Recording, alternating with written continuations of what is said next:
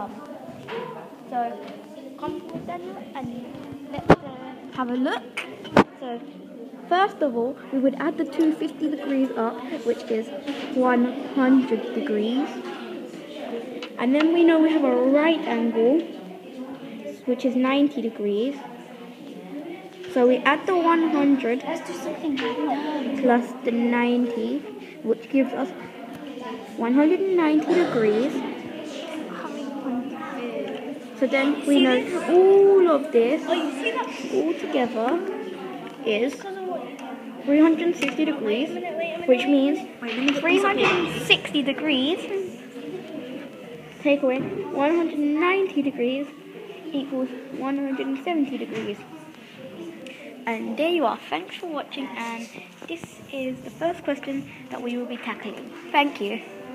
Stop.